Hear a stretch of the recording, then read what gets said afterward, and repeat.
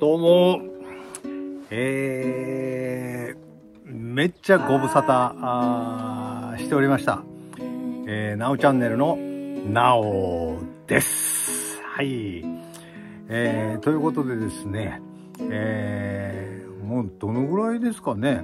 もう改ざんをいるのもめんどくさいぐらい、えー、ご無沙汰ですが、まあ実は、まあ、まあ、撮ろうかなってきっかけになったのが、まあ、もうすでにもう皆さん、えーご覧になってる人もいると思いますけども、ネオンさんと、えーヒロピークさん、えーの動画、ね、えー7月の6日だったかな、えーちょうどネオンさんの還暦の、えー誕生日、60歳の日に、えーなんと我が家まで、えー訪問していただきまして、えー本当にね、えー嬉しかったです。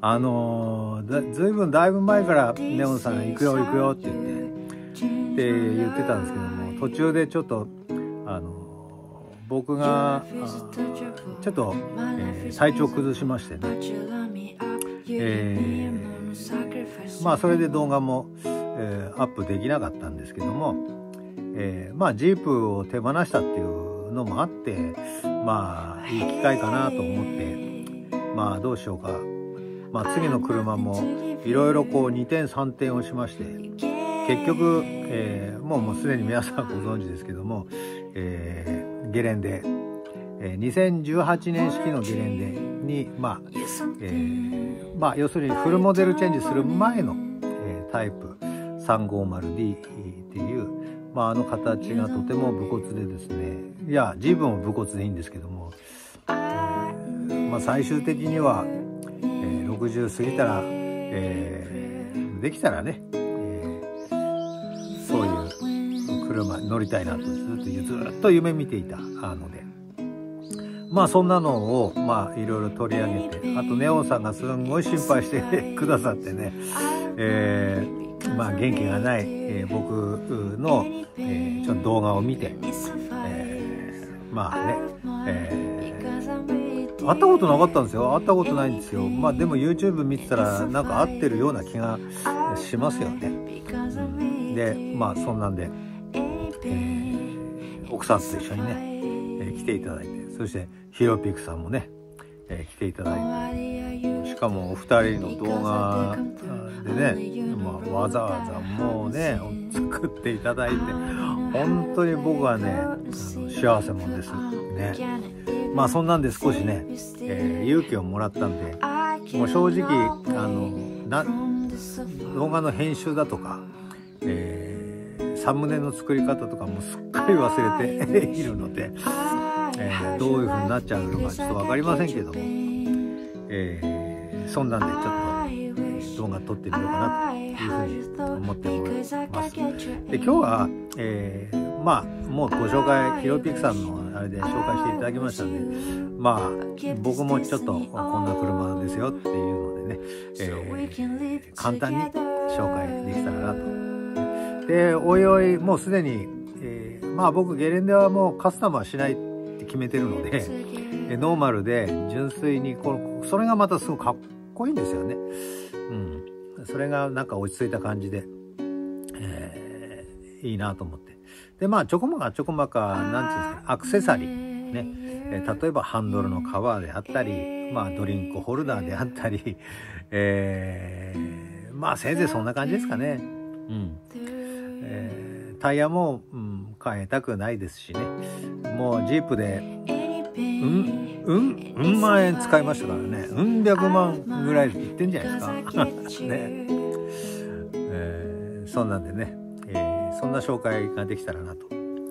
あとまあバイクもうん最近ちょっとねまた乗り出しましたのでそこら辺ももしね、えー取れたら、えー紹介できたらなと思ってますそれとあのうんうん百万で思い出しましたけど実はフューリーの、えーヤンちゃんとチーちゃんが実は明日かな？明日今ね撮ってるのが、えー6月のあ違った6月じゃない7月の、えー、20 22かな？えー、で、実は7月23に、えー、北海道の苫小牧の宇都内湖道の駅あるんですけども、そこに、えー、ジープのオフ会があるそうで、えー、まあ、ジープインエゾというね、えー、いうチームのオフ会があるんで、で、僕はもうね、あの、ジープ降りてましたんでね、えー、まあ、そのオフ会に参加するっていうことはなかなかあれなんですけども、まあ、やんちゃんがくこ今度のオフ会北海道のオフ会来るんですかって言うから「いやいやいやあのややんちゃん来るの?」って言ったら「行くんです」ってでやんちゃんジープフェリーに乗っけて来るらしいんですよ。そりゃもうね見に行かなきゃダメだしやんちゃんにもう本当お世話になりましたからね、えー、北海道の、えー、地場のお土産をですね、えー、たくさん持ってこうと。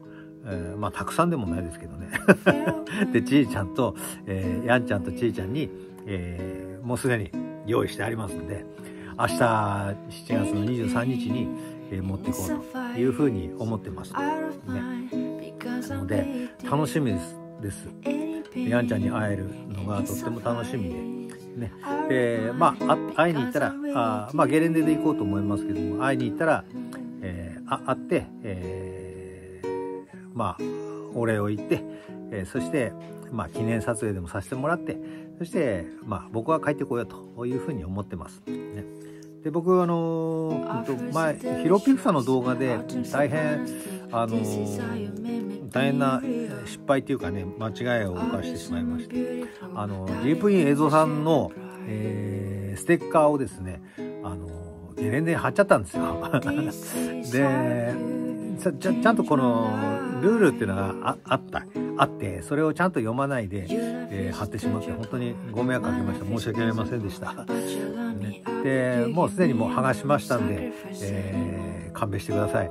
で明日まあ行ったら、えー、その謝罪もさせてもらえたらなというふうに思っています、でその代わり、えーこれ払おうかなというふうに思ってます。ね、やんちゃんのね、フューリーの、えー、シールを貼ろうかなというふうに思ってます。ね、あと、この匂いがとっても大好きなんでね、もうたくさん10枚ほどまとめて買ったんですけどね、えゲレンデにこれをつけて、ね、いい匂いをプンプンさせていきたいなと。あ、あとこれ。ね、あ、これ見ます？後ろ、後ろがね、見えますか？こういう感じで。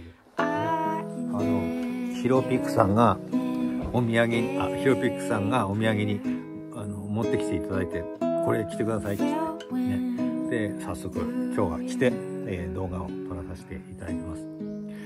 で今日本当はまあ撮る気なかったんですけどねネオンさんがあのあれですよあのインスタの、えー、なんだっけ？インスタのあのやり取りするやつなんだっけ？なんとかっていうメールじゃないし、なんだっけ？な、出てこねえや。それで、えー、待ってますよ。まだアップされてないですね。って。毎日チェックしてます。ストーカーか。そうそうそうそう。ね、でもね、本当にね、僕のね、YouTube のあれも分析してね、いただいて、こういう風にしたらいいよ、ああいう風にしたらいいよって、あのー、随分とアドバイスを僕はね、これまでもいただいてきましたんでね、あのー、今回もいろいろとアドバイスをいただいて、えー、今日はアップしたいなと思っておりました。はい。ということで、あもうすでに喋りだけで9分もなってしまって、ね、えー、ゲレンデはささっと最後にね、えー、ご紹介して、えー、終わりたいと思います。じゃあ、ということで、えー、この辺で、えー、動画、うん、再開動画ね、えー、久しぶりの再開動画、えー、を終わおや終わりない終わります。何言ってん 何何言ってんやねんってね。もうね、ネオンさんというとね、関西弁が映っちゃう。ね。なんかね、関西の人と一緒にいると本当ね、映っちゃうね。はい。ということで、この辺で終わります。それでは、皆さん。あれ？バイなら、ならバイ。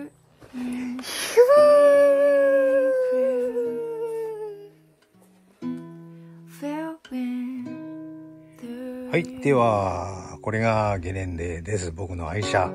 まあ、最後の愛車かな。ね。まあそんなこと言ったら、うん、僕のねか奥さんが首かしげましたけど。まあでもこれにずっと乗りたかったんですね。まあヒロピクさんが見てましたけどこういう角のね、えー、ウィンカー。これがまた中ねいい感じなんですね。あこれあのちなみに鹿よけ鹿笛ってやつですね。でまあ一通りぐるっと回って。ね。で後ろがこういう感じで後ろのねこのタイヤケースこれがかっこいいですね。なんかねとってもシンプルなんだけどもなんかいい感じ。これフューリーねもう早速貼りました。そして、えー、3G350D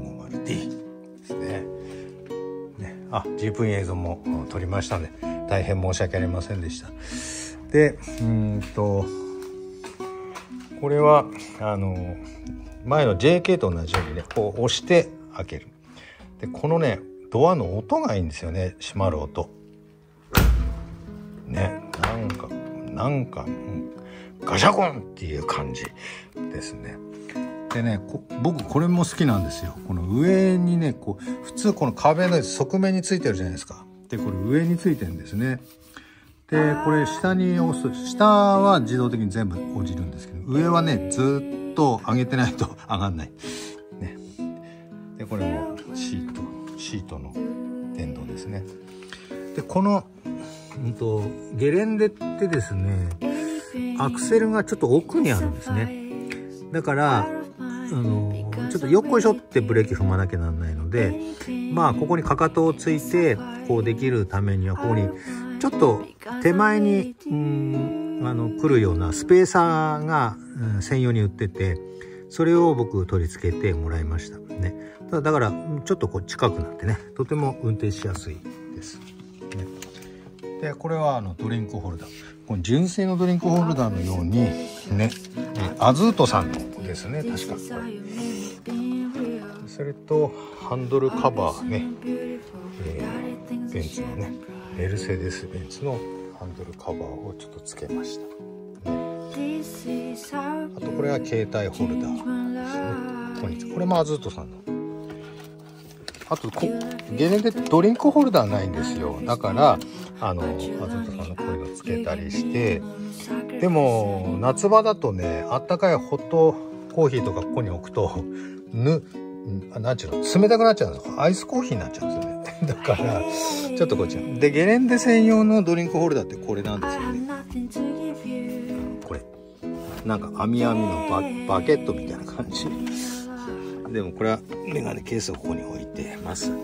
そして、まあ、これをね、ちょっと、えー、まあ、ちょっと作って、使って、使って、ここにドリンクを置けるようにして置いてます。あと、これが、えー、なんちゅうんだ。ハンドル。ジープでもありますよね。ここちょっとした収納受けでこれが助手席用ですね、うん、こんな感じです、うん、特にねあのこれといって特別なものはないですよ。うん。こんな感じ。これがデフロックですね。まあめったに使わないですけど。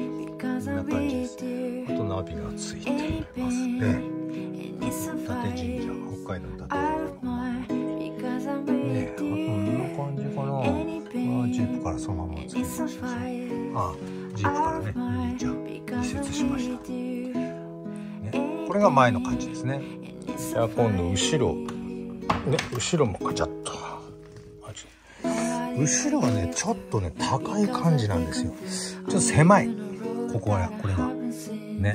だから後ろに乗る人はちょっと窮屈かなと。でリクライニングもならないしまあもっと軍用車っていうこともあってねあれなんですけど。だから運転席よりもちょっと顔頭がポンと上に出るような感じ ですね。特に後ろはね、うん、あれです。でこの後ろのこれもすんごい重たい。めっちゃ重たいですね開けるとで、うんと、僕がちょっとこれ台を買ったんですけども新型の何て言うんですかあのあれあのゲレンデ用だったらしくて ちょっと変全然合わなかったんですよね。で、うんと、僕があのちょっと待ってやったのがちょっと暗いな。これあのちょっと待ってくださいね。これをちょっと。あ出ますね簡単に。これ実は発泡スチロールレンガレンガ用の発泡スチロールなんですよね。でこれに滑り止めをこう引いてそしたらここ穴があるからこの穴にいろいろタオルとか収納できるなっていう感じね。